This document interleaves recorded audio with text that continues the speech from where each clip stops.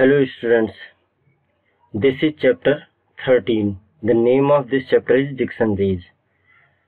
In this video, we will discuss about very short answer, application based question and programs. Okay, now first uh, under the very short answer type question, first question is why is dictionary term as an unordered collection of object मतलब dictionary को unordered collection of object को समझा जाता है, क्यों है? Dictionary term as an unordered collection of object because in dictionary we can use any type of data type but in key data type should be immutable data type ठीक, इसकी जो की होगी वो हमेशा इम्यूटेबल टाइप होगी, और की वैल्यू पेयर होते हैं, इससे प्रीवियस वीडियो में हम डिस्कस कर चुके हैं, ठीक है? तो वैल्यू इसकी किसी भी टाइप की हो सकती है, लेकिन की इसकी यूनिक और इम्यूटेबल होगी। Next what type of object can be use as key in dictionaries अभी से पहले क्वेश्चन में हमने डिस्कस किया था। Mutable data mutable type of object can be immutable type of object जिनको हम चेंज नहीं कर सकते like tuple like a string. Immutable type of object can be used in dictionary. For example integers हैं string है tuple है ठीक है नेक्स्ट है अगला third though tuple are immutable type yet they cannot always be used as key in a dictionary ठीक what is the condition to use tuple as key in a dictionary देखिए tuple क्या होते हैं? Tuples are immutable type और ये use नहीं कर सकते हैं। Yet they can not always be use ये हमेशा एज ए की यूज़ नहीं किए जा सकते। ठीक तो कौन कौन सी कंडीशन इसमें यूज़ कर सकते हैं? तो the condition to use tuple as key in dictionary that tuple must be contains immutable data type और एलिमेंट इन टपल मतलब टपल में इम्यूटेबल डेटा टाइप ही होना चाहिए। ठीक? Next question what are type of values can you store in dictionary value dictionary keys dictionary keys में को किस टाइप की वैल्यू स्टोर कर सकते हो? डिक्शनरी कीज में कौन सी? सिंपल सा है। इससे पहले भी ए, कई बार डिस्कस कर चुका हूँ। All type of value like integer string tuple in dictionary values all type of value like integer string tuple, ये किसमें यूज़ हो सकता है? डिक्शनरी वैल्यूज़ में। और डिक्शनरी कीज में क्या क्या यूज़ हो सकता है? Immutable type of value like integers string and tuple यानी डेट इसकी वैल्यू है वो कोई भी हो सकती है। लेकिन म्यूटेबल या इम्यूटेबल कोई भी हो सकती है, लेकिन जो कीज है डिक्शनरी की, वो ऑलवेज इम्यूटेबल टाइप की होंगी, जिनको हम चेंज ना कर सकते हैं।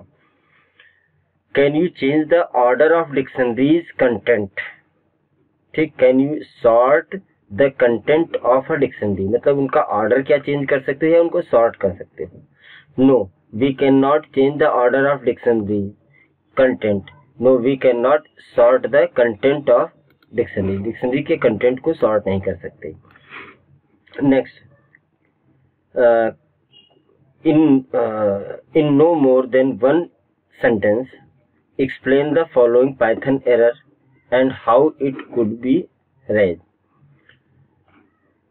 error type kya hai unhashable type list means it means that you have tried to assign a key with mutable type and python dictionary do not allow this यानी आप कोई ऐसा डेटा टाइप या list assign कर रहे हैं key में जो डिक्शनरी में की एज ए की यूज़ नहीं हो सकता है next question number seven can you check for a value inside a dictionary using in operator क्या can you check for a value inside a dictionary using in operator how will you check for a value inside a dictionary using in operator in operator का use करके आप कोई value कैसे check कर सकते हैं?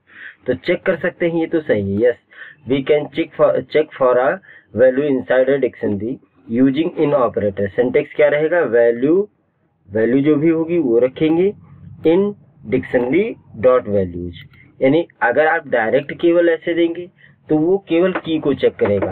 यानी उसमें आपको बताना पड़ेगा जो भी डिक्शनरी होगी डॉट वैल्यूज़ करके। डॉट वैल्यूज़ डॉट की जो फ़ंक्शन है रेडीमेड तो वैल्यूज़ में केवल वैल्यूज़ डिस्प्ले होती है। Next dictionary is a mutable type which means we can modify its content. What all its modifiable in a dictionary? Can you modify the keys of dictionary? तो देखिए, क्या है dictionary तो overall dictionary क्या है?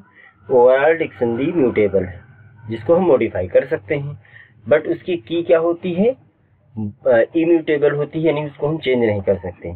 तो we can modify by adding और removing the chief value pair in dictionary modifiable is keys value and addition और removal for key value pair. Key value pair आप ऐड कर सकते हैं रिमूव कर सकते हैं। लेकिन no we can not modify the keys of dictionary dictionary की की को मॉडिफाई नहीं कर सकते। Okay next question how is del d मतलब डी नाम की कोई डिक्शनरी है।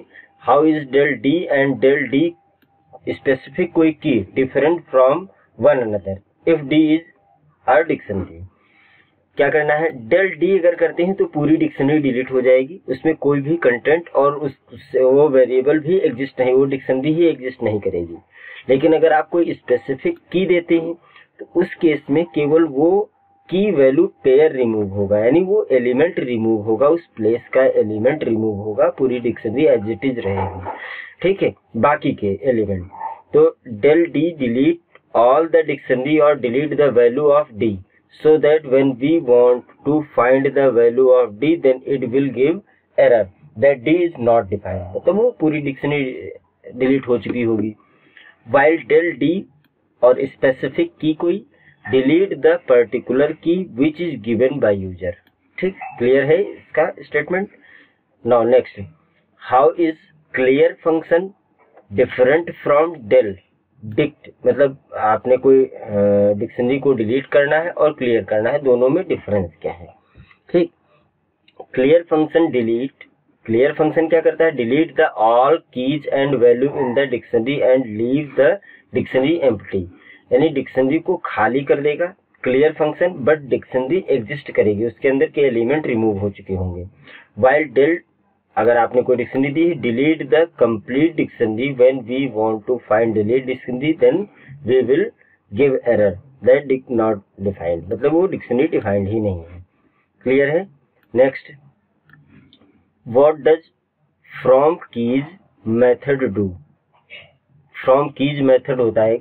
The from keys method is use to create a new dictionary from a sequence containing all the keys and a common value, which will be assigned to all the keys. This method used as ये dictionary है dot from keys और यहाँ का की का sequence और उसकी value मतलब एक कॉमन की की का सीक्वेंस उनकी एक कॉमन वैल्यू अगर आपको प्रोवाइड करनी है तो आपको डॉट फ्रॉम कीज लगाना पड़ेगा. इस केस में जितनी भी कीज होंगी, उनकी वैल्यू सबकी सेम हो जाएगी. नेक्स्ट क्वेश्चन है question number twelve how is pop different from pop item pop and pop item में क्या डिफरेंस है? फ़ंक्शन पढ़ाते समय बताया था। पॉप क्या करता है? The pop difference the difference between pop and pop item is that the pop can delete an item with a chosen key while pop item will remove only the last entire item from the dictionary. Pop क्या करेगा? Pop एक specific item को remove कर देगा। लेकिन अगर pop item किया है तो वो लास्ट से लास्ट एंटर्ड आइटम जो भी लास्ट कंटेंट एलिमेंट होगा, उसको रिमूव कर देगा। Also you can specify the return value message in pop if the given key is not found in the dictionary but you can not frame any such message in pop item while delete deleting from an empty dictionary it will raise an error यानी अगर आप इसमें message भी एक दे सकते हैं comma लगा करके पॉप में पॉप आइटम में क्या, अगर नहीं मिला तो वो एरर शो करेगा। पॉप में वो पर्टिकुलर कोई मैसेज प्रिंट कर देगा। एंड पॉप आइटम क्लियर हो गया। ठीक, नहीं समझ आ रहा है, इसको एक बार फिर से देखिएगा। If sorted is applied on a dictionary what does it return अगर सॉर्टेड आपने अप्लाई किया है तो क्या रिटर्न मिलेगा? If only sorted is applied on dictionary then it considered only the keys of the dictionary for sorting and return a sorted list of the dictionary keys. अगर आपने केवल sorted अप्लाई किया है तो कीज को sort करेगा और sorted की की एक लिस्ट अलग से आपको रिटर्न कर देगा। Will max and min always work for a dictionary मतलब मैक्स और मिन क्या हमेशा काम करेगा? तो ये काम तो करेगा, लेकिन अगर सेम टाइप का डेटा टाइप होगा। Yes if the dictionary keys है होमोजीनियस डेटा टाइप ठीक सेम टाइप का अगर डेटा होगा तो ये मिन और मैक्स फ़ंक्शन ऑलवेज वर्क करेंगे। अदरवाइज़ नहीं वर्क करेंगे। यानी डेटा टाइप अगर आपने मिक्स कर रखा है तो। Can you use sum for calculating the sum of the value of a dictionary मतलब सम फ़ंक्शन क्या आप यूज़ कर सकते हो? Yes we can use sum for calculating the sum of the values of a dictionary value को dictionary में key value pair होते हैं। तो वैल्यूज़ का अगर सम आपको फाइंड करना है सेम टाइप के डेटा होंगे तो आप उसका सम फाइंड कर सकते हैं।